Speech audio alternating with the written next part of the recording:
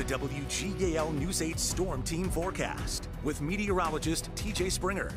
This week, we've really been seeing a little disturbance as a parade almost working through the region, and that's why we're seeing yet another round of uh, clouds and yes, some moisture now on Super Doppler 8. We can see some rain out across the Ohio Valley and some snow trying to lift up into the area. I think a lot of this not reaching the ground, kind of like yesterday, we saw it on radar, but it wasn't making it to the surface, and I think that's going to be the case today until we get into the latter part of the evening as we start to moisten up that column. Here's our closer view with the Susquehanna Valley and Super Doppler 8. We can see those clouds in. Some moisture trying to get into some of our far southwestern neighborhoods in the Commonwealth. And eventually we'll have to watch for Franklin and Adams County if some of this lifts into your neck of the woods over the next few hours. But overall, gray, gloomy. That's the story in York and really all across the board here. But if you're out, maybe you're noticing some of the haze out there.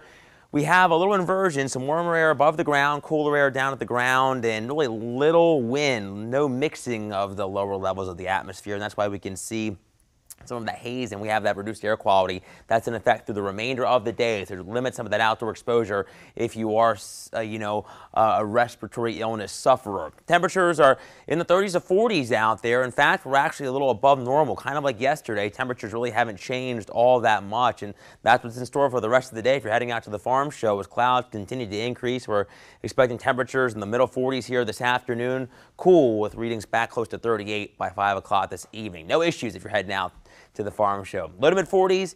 What's in store for the rest of the day? Increasing clouds, kind of a gloomy one.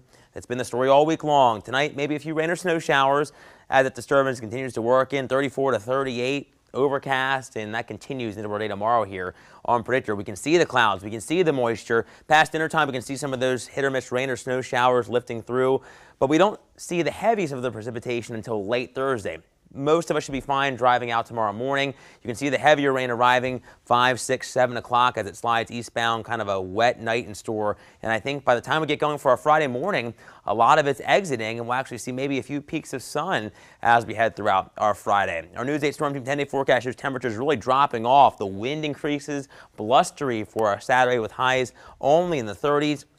A little more sunshine on tap as we head through early in the week. MLK Day looks great, but we're tracking a couple of more systems, one with some rains Tuesday, and we keep that potential around for Thursday, Susan. All right.